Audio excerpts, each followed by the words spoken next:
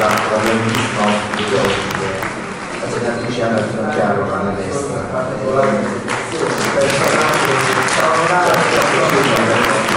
più giovani e gli studenti personalmente l'ho vista oggi per la prima volta l'ho sempre vista in televisione ho ammirato sempre il suo forte e determinato impegno sul piano politico oltre che logicamente per le competenze discusse eh, dal punto di vista giuridico, è un magistrato, quindi persona che eh, ha svolto diciamo, una trafila veramente considerevole, personaggio di notevolissimo spessore. Ecco, volevo dire, citando così a volo d'uccello alcune tappe della sua vita, delle, delle sue esperienze professionali e politiche.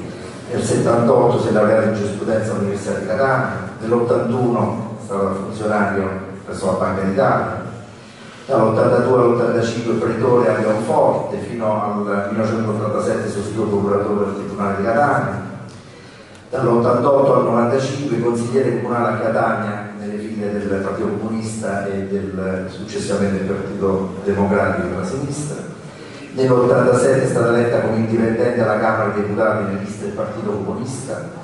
Dal 96 al 98 è mh, stata ministro per le varie opportunità durante il governo Prodi.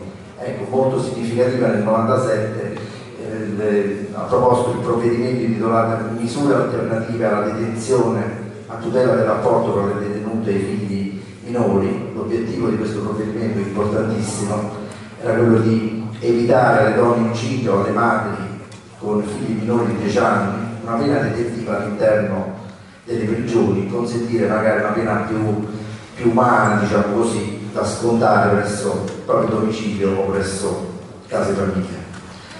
Nel 2006 è stata capogruppo al Senato gruppo parlamentare dell'Ulivo, responsabile del settore giustizia. Nel 2008 candidata per la carica di presidente nelle elezioni regionali, riportando circa il 30%, 30 dei voti, sconfitta da Raffaele Lombardo con il 65%, una gara, cioè una, una, competizione politica forse impari, no? che però la nostra senatrice ha affrontato con grande coraggio, con grande determinazione e come più volte ha, ha ribadito, diciamo, è stato per lei fonte e occasione di arricchimento umano e di esperienze ecco, meravigliose, poi magari ce ne parla da lei stessa probabilmente. Nel 2013 Presidente della prima Commissione permanente degli affari costituzionali della Presidenza del Consiglio e dell'Interno. Nel 2016 è stata confermata Presidente della prima Commissione affari costituzionali ed è divenuta poi il 12 dicembre Ministro dei rapporti con il Parlamento sotto il governo Gentiloni. Una carriera politica, vedete, assolutamente brillante, 31 anni ininterrotti di impegno che l'hanno vista presente in Parlamento, 19 anni alla Camera e 12 al Senato. Che dire, eh, io ritengo che sia una delle, un esponente diciamo, di quella politica alta e nobile che eh, orientata da sempre al bene comune, al bene eh, e al servizio della collettività. Io ritengo che persone così dovrebbero oggi essere più che mai presenti nella politica. La politica di oggi purtroppo è una politica ci delude Ehm, quindi magari auspichiamo anche un suo rientro in politica, so che lei non si è candidata più dal 2018, però il suo impegno nella politica più generale è sempre vivo, è presidente di un'associazione culturale che è Italia Decide, noi siamo legati a questa associazione, abbiamo aderito peraltro anche ad un progetto che vedrà coinvolto qualche nostro docente e il sottoscritto, dei corsi di formazione sulla sulla Costituzione, lo scopo è quello di diffondere sempre più la conoscenza di questa, questa lex regum, questa legge delle leggi, questa carta fondamentale sulla quale poi è impostata e fondata tutta la vita, della, la vita democratica, la nostra vita civile e quindi non si può assolutamente consentire, io dico agli alunni, di uscire dalla scuola senza conoscere la Costituzione. Purtroppo per anni questo è accaduto perché l'educazione civica oppure eh, lo studio della Costituzione non è avvenuto in maniera puntuale perché manca una disciplina eh, così. Noi chiediamo che ci siano delle ore specifiche destinate a questo tipo di studi. Eh, non, non, mi dilungo ulteriormente, cedo volentieri la parola alla senatrice che avrà modo oggi di eh, fornirci tutto il suo prezioso e qualificato apporto, diciamo, sia per l'analisi di alcuni articoli della Costituzione, che per eh, spiegarci più da vicino quello che è l'iter legislativo e poi soprattutto risponderà alle domande dei ragazzi che appunto su queste tematiche. Beh.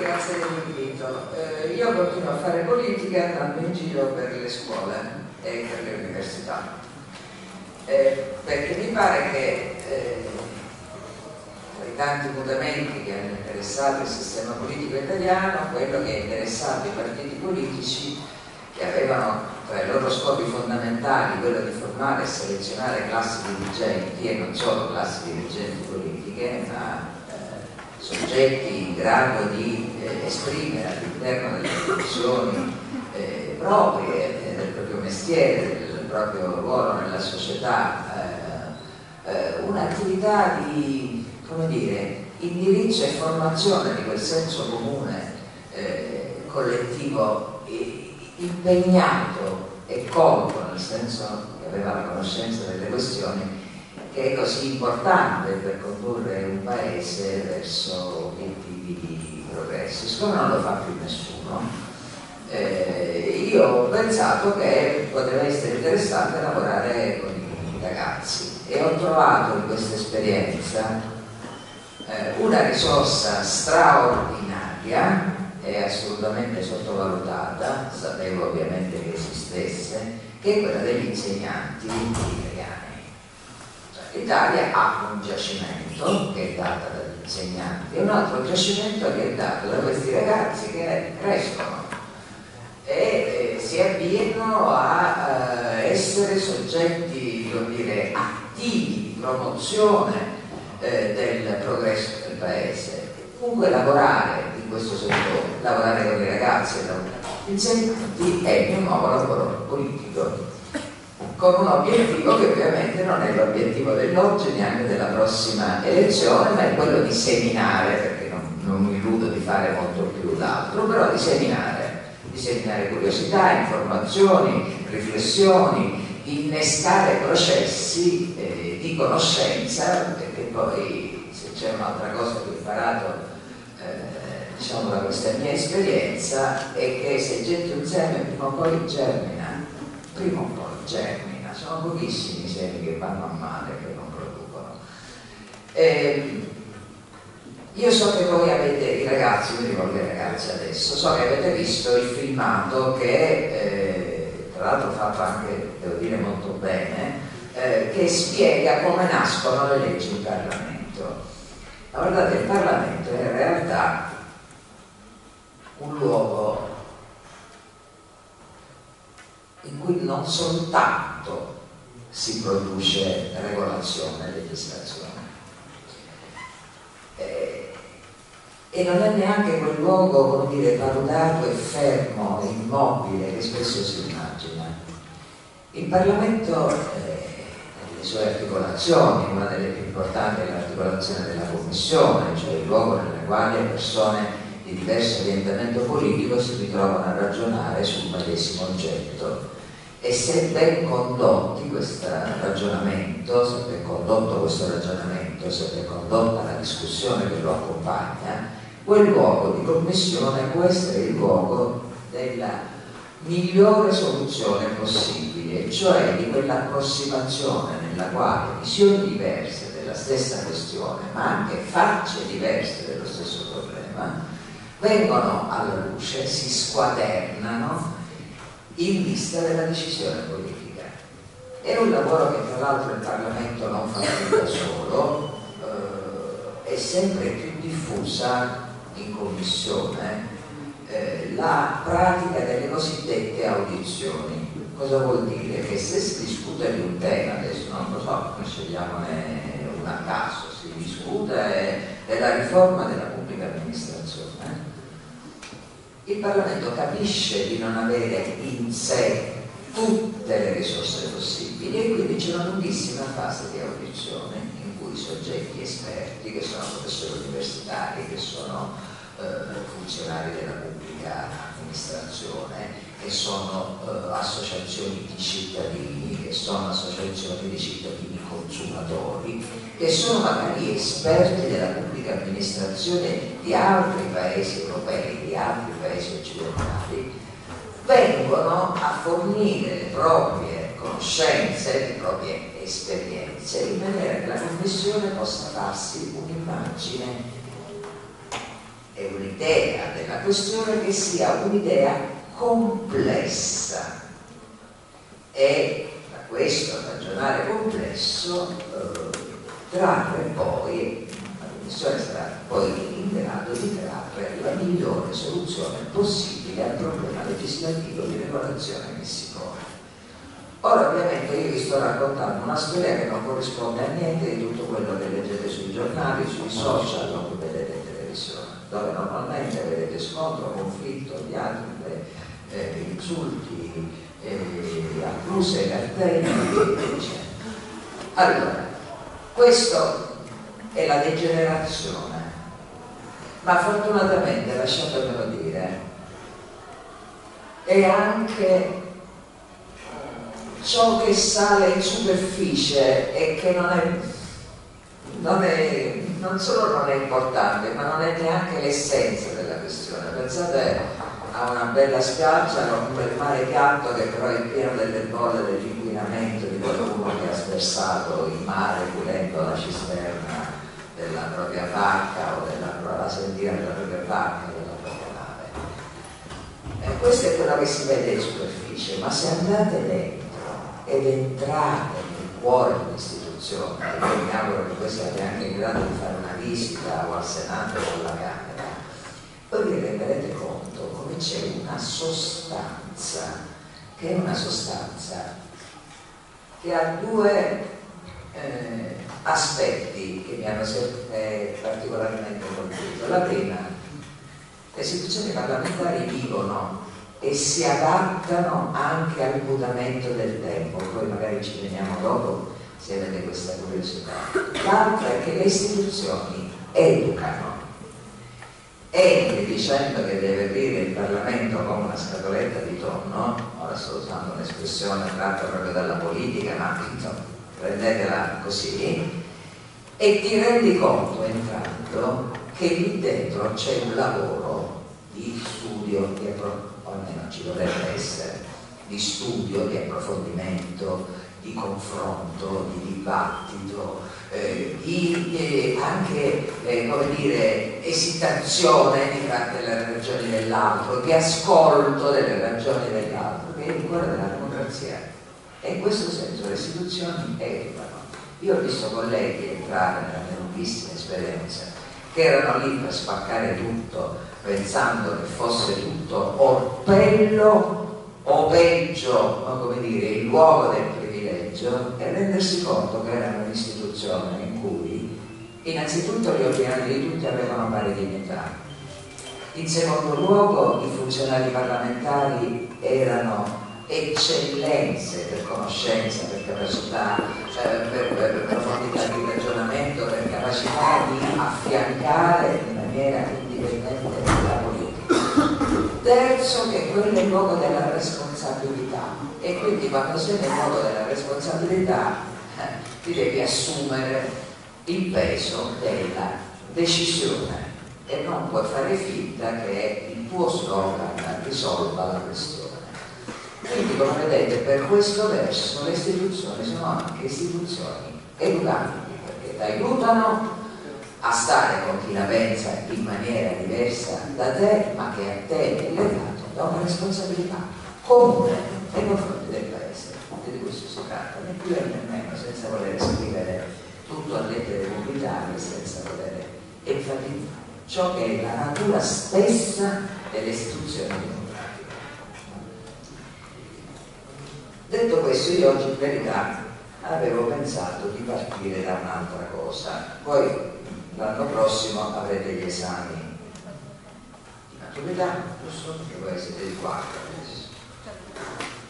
Eh, ancora di quest'anno eh, l'esame di maturità avrà una prova su cittadinanza e Costituzione, l'anno prossimo dovrebbe entrare in eh, programma l'insegnamento dell'educazione civica. Non so perché non hanno chiamato così, che è una cosa un po' di delle scuole elementari, comunque va bene, eh, non, ha, non, ha, importanza, diciamo, non, non, non è importante, l'importante è quello che sarà eh, il contenuto e il cuore di questa, eh, di questa questione.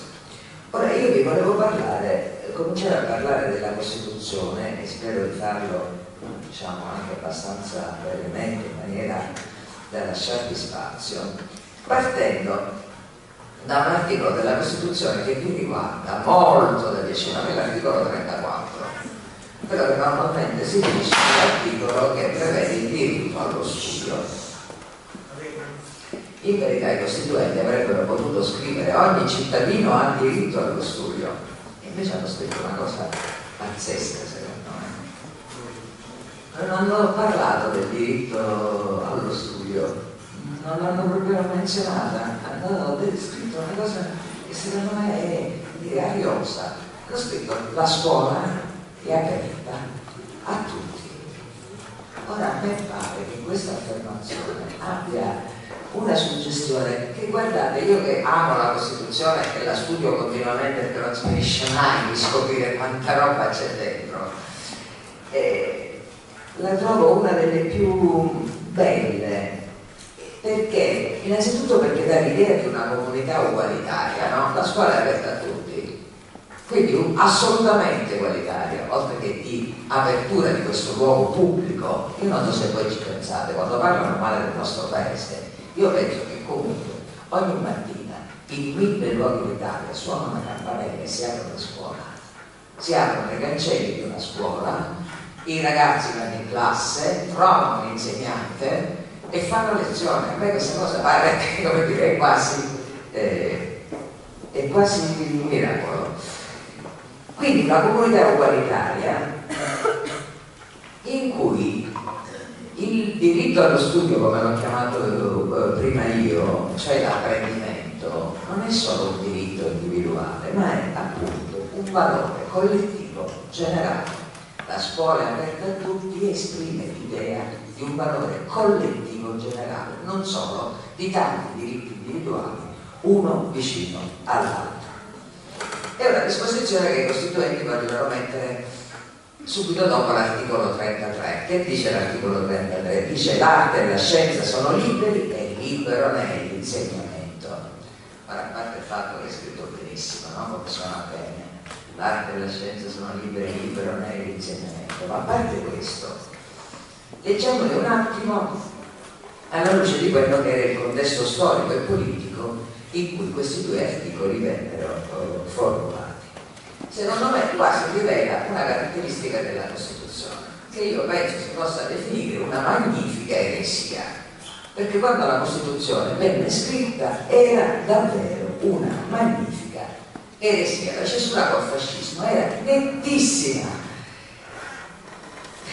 La scuola fascista non conosceva la libertà di insegnamento. Cominciamo da questo. andava ispirato a un pensiero unico, che era quello fascista appunto, conteneva una buona dose di indottrinamento di ideologia fascista e comportava anche l'allontanamento dalle scuole per chi non la pensasse. Allo stesso modo eh, e insegnasse diciamo, fuori linea rispetto, fuori asse rispetto a quello che era il prisma ufficiale e venivano allontanati non solo professori di liceo ma anche maestri elementari. Io ne ho conosciuto uno, maestro elementare socialista, che lavorava in un paesino dello sprofondo della Sicilia, lo cacciarono, era il padre di mio cognato, che poi è diventato un intellettuale importantissimo, è dovuto andare dal suo paese, se ne andò in un paese della provincia eh, di Napoli, ma venne allontanato dalla scuola perché era socialista e questo per il fatto che quando venivano i gerarchi ci andava il maresciallo dei carabinieri e gli diceva professore, perdoni, si chiamava professore, allora i maestri del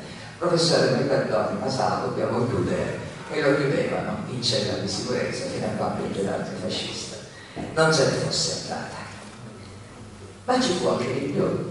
Mia madre aveva una compagna di scuola che si chiamava Esther, era al ginnasio, al quarto ginnasio, era una sua compagna di classe, era anche brava, ci mia mamma, a un giorno non venne più a scuola e insieme ad Esther furono allontanati dalla scuola anche due professori. Perché? Perché erano ebrei. Perché sono gli anni che vanno dal 38 al 39 le misure, eh, le cosiddette leggi razziali. E la prima legge razziale, la prima di tutte, fu quella del settembre del 38, se non ricordo male, fu dedicata alla difesa della razza nella scuola fascista. E nel luglio del 38, peraltro, era uscito questo manifesto della razza, un manifesto degli scienziati razzisti, che al settimo punto diceva è tempo che gli italiani si proclamino francamente razzisti.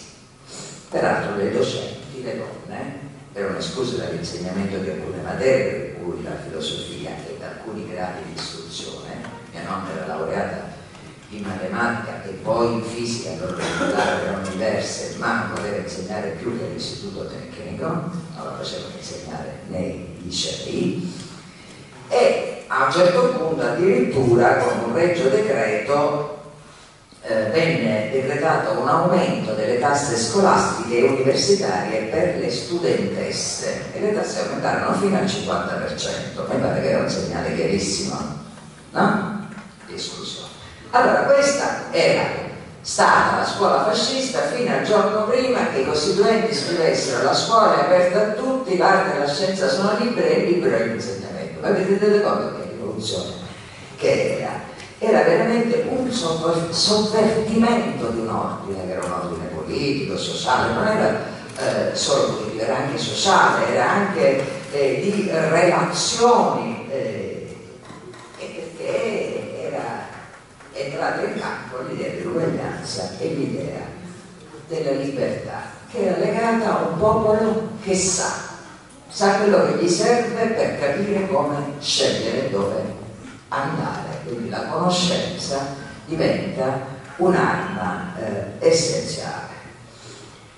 Era proprio una cosa da visionari. Pensate che dopo che approvarono questi articoli, i costituenti discussero ancora fra di loro dicendo ma noi ci rendiamo conto di quello che abbiamo scritto, di cosa significherà in termini di sforzo straordinario, non solo organizzativo, fare funzionare le scuole, ma uno sforzo culturale perché insegnanti, eh, presidi eh, e, e, ragazzi fossero messi nelle condizioni di praticare la visionarietà di libertà e di uguaglianza della Costituzione, che in Costituzione avevano scritto. La Costituente era che si fermavano a questo perché non è solo un diritto l'apprendimento, è anche un dovere. Ecco, parte, sappiamo che questo limite è stato sempre spostato, no? Quindi i costituenti si rendevano conto che dovevano mettere accanto a un diritto anche il dovere, ma perché è obbligatoria? Perché l'idea della partecipazione di tutti i cittadini, senza distinzione, eccetera, eccetera, eccetera, articolo 3, è l'obiettivo finale che la Costituzione si pone perché la Costituzione vuole costruire, se dovessimo riassumerlo in due parole, dove, a cosa tende la Costituzione? Riassunto, a costruire una società giusta. Per fare questo non bastano menti illuminate, ci vuole la partecipazione effettiva di tutti i lavoratori, poi vedremo che significa lavoratori secondo secondo i costituenti, alla vita sociale, economica e politica. E per fare questo ciascun cittadino ha dei diritti fondamentali, ma anche dei doveri nei confronti di se stesso e della propria comunità. Quindi l'istruzione è un diritto, l'apprendimento è un diritto, ma è anche un dovere e l'istruzione è obbligatoria fino a un certo grado. Il lavoro è un diritto, ma è anche un dovere, hai il dovere di contribuire, dice eh, la Costituzione, col tuo lavoro, nei, nei limiti delle tue capacità. E perché l'opera è collettiva. E qui entra in campo un'idea della politica che io ritengo, come dire, imprescindibile per chiunque cominci a esercitare ruoli che hanno carattere politico, quello della rappresentanza negli organismi scolastici. La politica è un'opera collettiva, non vi fate imbrogliare dai liderismi, dai protagonismi, tutta fuffa. La politica che muove i paesi, che muove le comunità grandi, piccole, la scuola, il paese, la città, la nazione, la regione, è opera squisitamente collettiva.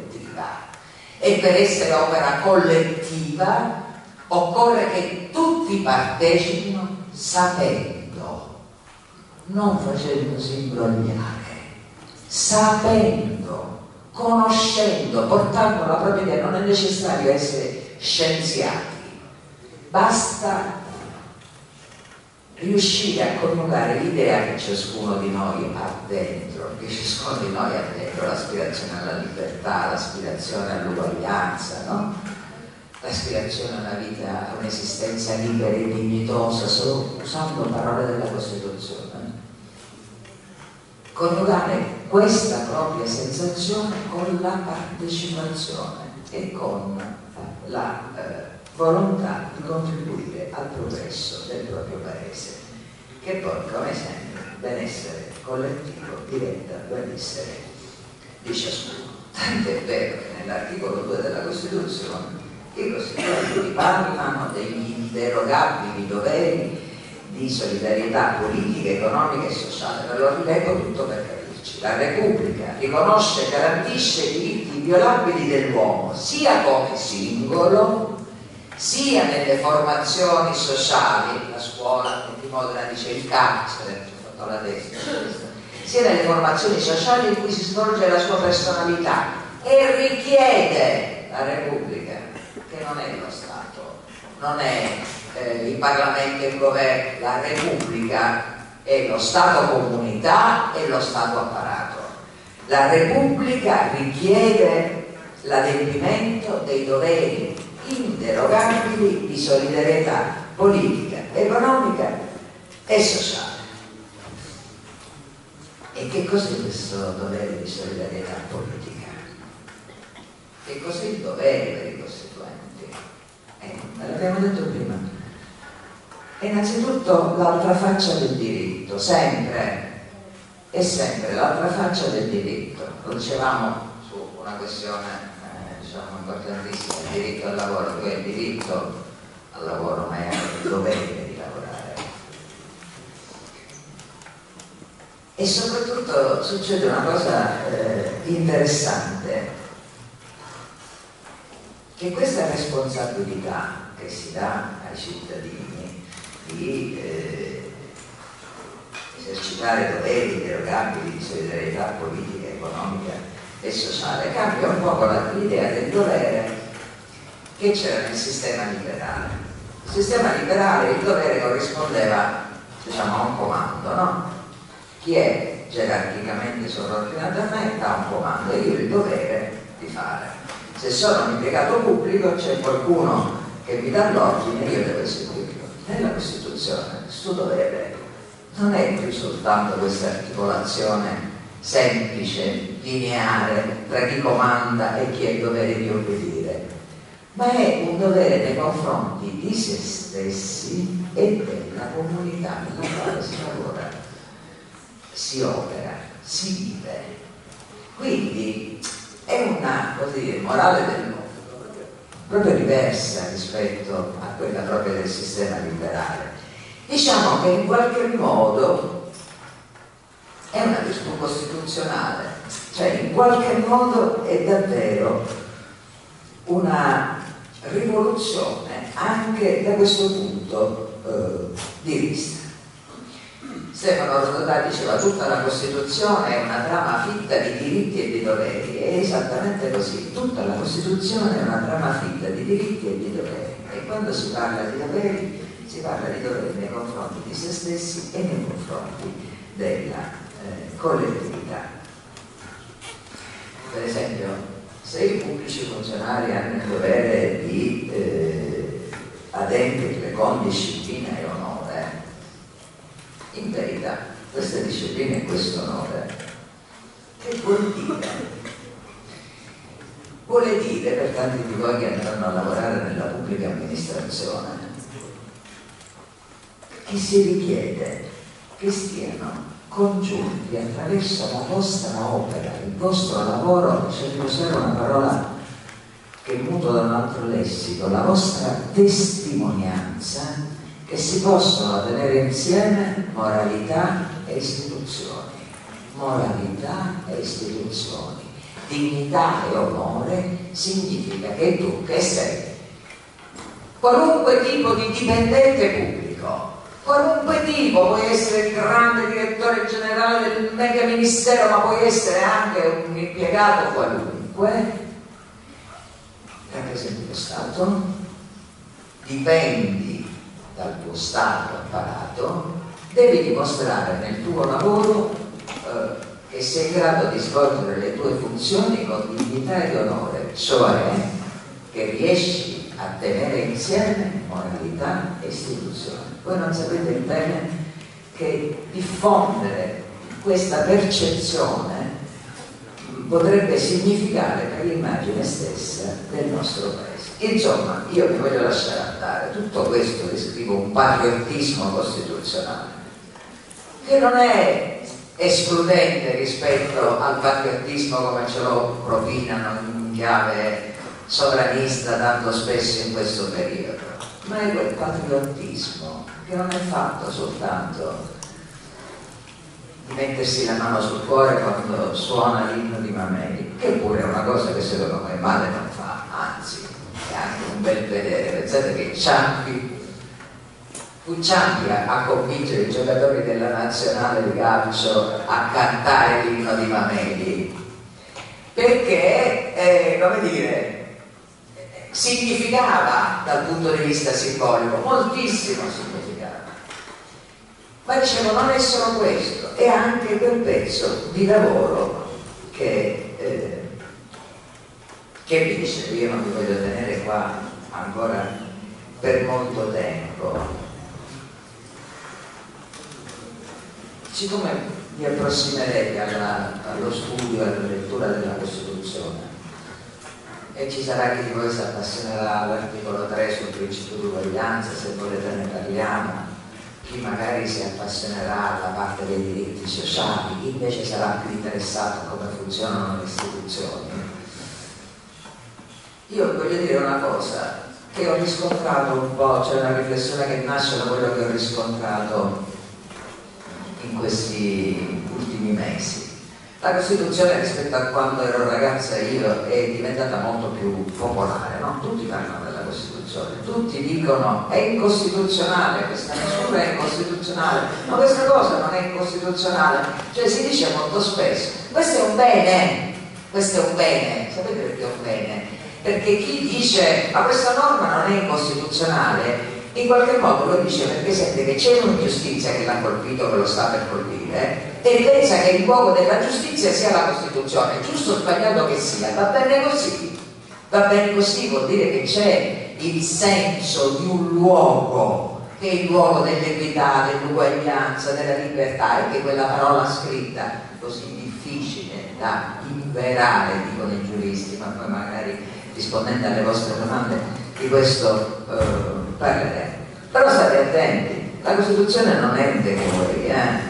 non è che la Costituzione puoi prendere quello che ti piace ma quando ordini il sushi ordini l'hamburger con le patatine non è così non è che te che vuoi figlia e porta la Costituzione è esigente se ti vuoi portare via il diritto ti porti insieme anche il dovere. Se ti vuoi portare via eh, come dire eh, una eh, eh situazione di vantaggio devi pensare che quella situazione di vantaggio non è mai stata pensata solo per te, esige che tu lavori perché quella situazione di vantaggio sia una situazione di vantaggio che riguardi tutti coloro i quali si trovano nella tua situazione. E per fare questo c'è una sola strada, una sola, la partecipazione. con qualunque idea politica abbiate di testa, con qualunque tipo di orientamento culturale voi riteniate di starci nella partecipazione, ma ci dovete stare, ci dovete stare, perché è l'unico modo per essere un pezzo del motore della crescita del paese, ma anche per dare senso alla vostra cittadinanza. Perché la cittadinanza solitaria, quella di me che sto davanti alla tastiera del computer e penso di dire parola costituzionale da solo, magari mentre dire, sto in un contesto che ha anche altre parole che non quelle della Costituzione, quella è la cittadinanza impotente, solitaria e impotente, l'unica cittadinanza che conta, che muove, che vi fa contare, che dà dignità alla vostra cittadinanza e ne apre e ne sviluppa la potenza di cittadinanza, che è immensa se pensate ai diritti fondamentali che stanno in Costituzione e che attendono l'opera vostra per diventare realtà per tutti. Sono questa che la ricordo e questa si ha con la partecipazione, che infatti i costituenti individuavano l'obiettivo di medio periodo per raggiungere la società giusta, l'unico strumento in grado di raggiungere i risultati di una società giusta. Io mi fermo qua, eh, fatemi tutte le domande che volete e magari le, le organizziamo per tema, quindi io le, che dice signor Presidente, io le sentirei, ne sentirei un po' prima e quindi poi rispetto ai diversi temi facciamo un approfondimento insieme.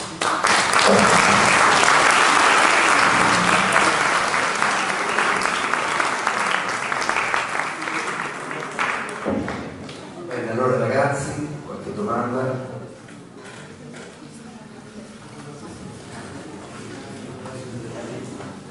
Allora, con il microfono, sì, un po' così.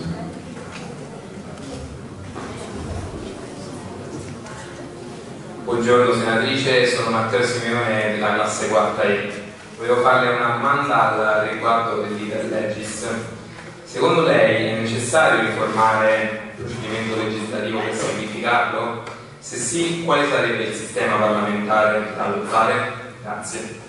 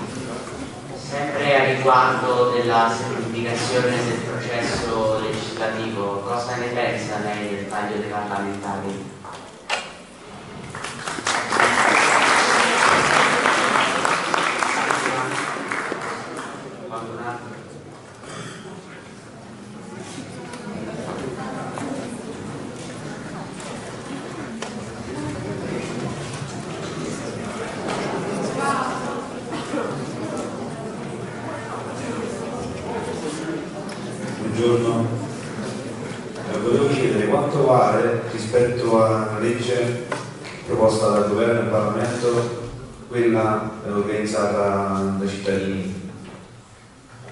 Grazie.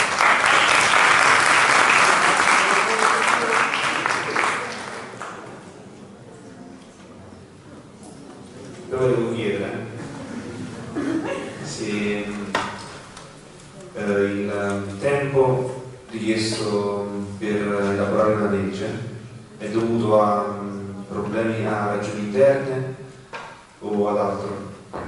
Grazie.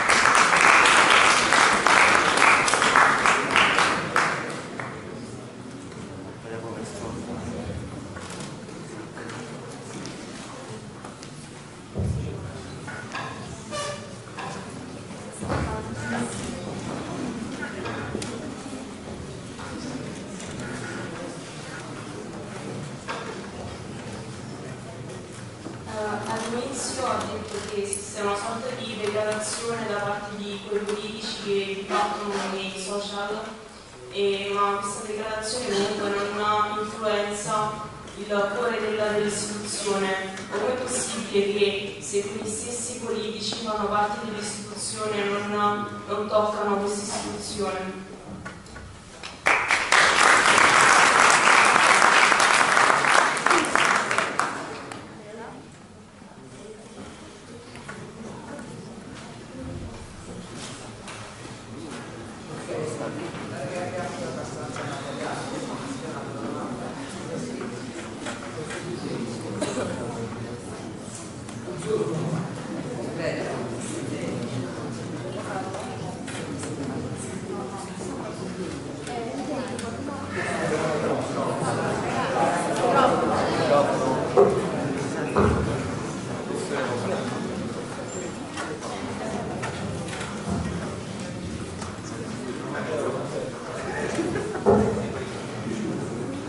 Sì, più che una domanda è una sollecitazione dall'intervento.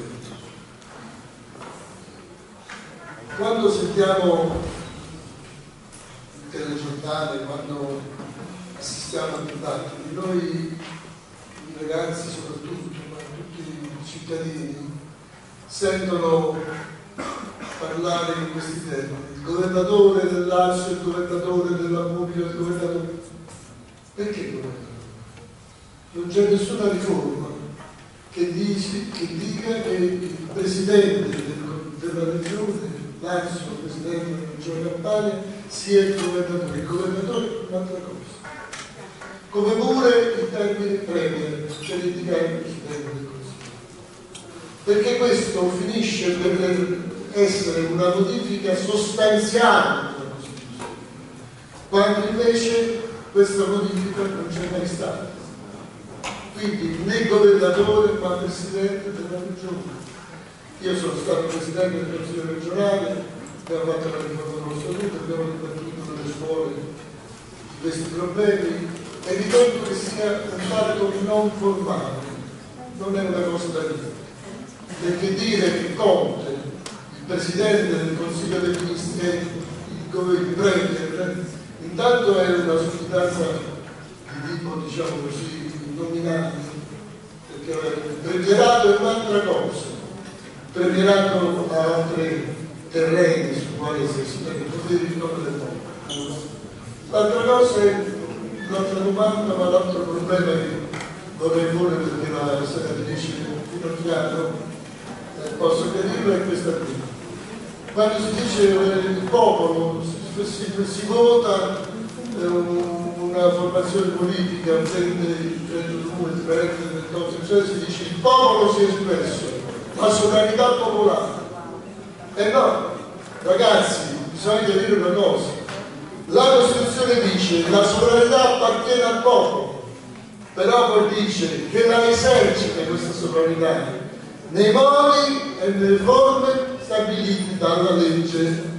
Quindi non è che basta prendere dei voti perché si abbia diciamo, la- il potere di decidere delle cose perché si viola la Costituzione. La Costituzione va letta attentamente e un'altra cosa importante che la- la- l'Assemblea Costituente, prima di promulgare la Costituzione, che entrò in vigore il 1 gennaio del 48, fu un'assemblea costituente che, finita la guerra, mise a confronto le culture che avevano rappresentato, quella cattolica e quella socialista comunista, avevano rappresentato il punto di riferimento della battaglia della libertà contro le polizie. Grazie.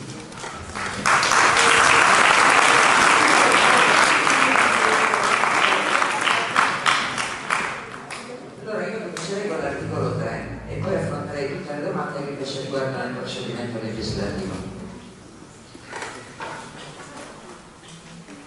Stefano Rodotà ha definito l'articolo 3 un capolavoro, capolavoro eh, istituzionale e in realtà l'articolo 3 è un capolavoro. Ci lavorarono in tanti, l'idea originaria, la stesura originaria in realtà fu di Lelio Basso di Massimo Severo Giannini parteciparono alla scrittura dell'articolo 3 nelle sue diverse formulazioni, diciamo, i grandi esponenti eh, del pensiero politico di allora, Togliatti, Moro, Fanfani, Laconi, Lussu, Calmandrei naturalmente, Teresa Mattei, Ina Mechilin. E la storia, se vi capita, leggetelo il dibattito sull'articolo 3, perché secondo me è molto interessante per tutta una serie di cose, anche un po' spiazzante, però vi, vi dico perché.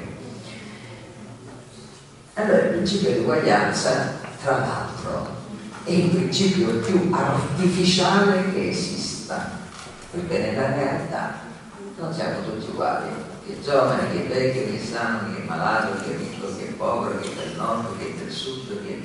No, quindi non è vero che siamo tutti uguali, è un principio artificiale che i costituenti posero a base invece dell'impianto costituzionale.